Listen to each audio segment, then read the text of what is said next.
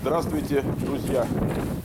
Словно поддавшись взволнованному вопросу наших зрителей, а как же это так, э, вода-то к дому катится по замощенному, вот, который вчера неоднократно задавался этот вопрос, как бы откликаясь на это, на все, наши строители разобрали, разобрали значительную часть того, что они тут уложили, вот вы видите, и копают, а, значит, выравнивают. Вот я даже вижу, что откосик такой идет от дома, это заметно.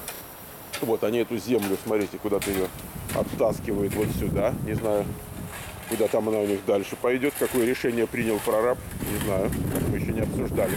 Вот вы видите, под пленкой э, почему-то им существенно, чтобы гравий вот этот вот не, не, нам, не намок. И они его так вот накрывают. Вот. И а такая погода, знаете, кажется, что сейчас дождик пойдет. Вот небо, смотрите, какое. Вот. А тут что это у соседа-то растет? Что это растет, что у соседа? Ага. Похоже на лимончики. Ладно. В общем, появляется как бы такое у меня ощущение, что будет удлинение нашего вот это то, что называется ретейнинг wall. Вот так, такое ощущение, что стеночку они туда продлят.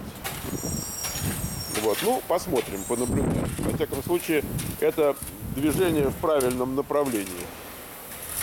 Да. Случается такое, когда люди работают, а за ними прораб не присматривает. А может и прораб не сразу сообразил. Так вот. Вот. То, что происходит, отличается малость от того, что было на нашем архитектурном, так сказать, плане.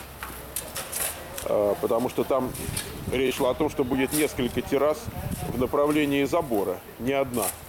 А когда уже начали строить, то прораб говорит, да зачем вам две-то? Так пусть будет ровненько, пусть будет больше места.